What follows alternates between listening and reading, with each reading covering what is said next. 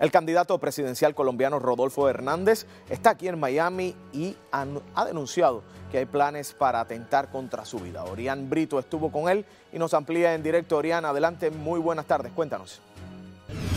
Hola Daniel, muy buenas tardes. El candidato presidencial colombiano Rodolfo Hernández ha realizado una conferencia de prensa aquí en el sur de la Florida como parte de esta gira que busca lograr conectarse con los colombianos que viven aquí. Recordemos que 200 mil aproximadamente están habilitados para votar y ya tan solo el próximo lunes inicia este proceso de votación temprana. Durante esta comparecencia con los medios de comunicación, Rodolfo Hernández ha denunciado que en Colombia hay planes de atentar contra su vida. Están planificando destruirnos a través de falsos testimonios y con testigos falsos. Y a lo último, póngale la firma.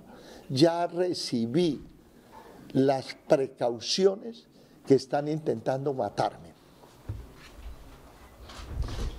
Y esa matada no es a plomo, esa matada será cuchillo. ¿Por qué a cuchillo? Porque resulta que sale a la gente al aeropuerto a recibirme. O vamos a un salón como este y hay que entrar.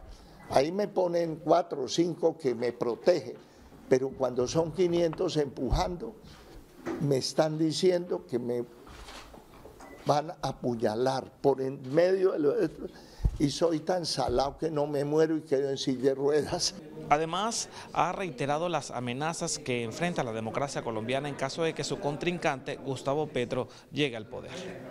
Ayer en Colombia empezó a circular de mi contendor, Gustavo Petro, y sus asesores y sus, yo digo que son compinches de campaña, la violencia que van a hacer sobre los que no piensan como ellos. Rodolfo Fernández también aprovechó para reiterar su propuesta a los colombianos que residen en el sur de la Florida. Ha insistido en que la situación económica es vital, mejorarla para los ciudadanos colombianos. Propuestas. A mí me decían que yo no tenía propuesta, le parece poquito la propuesta cambiar la forma como nosotros vamos a administrar la plata de todos los colombianos. La chequera. La chequera.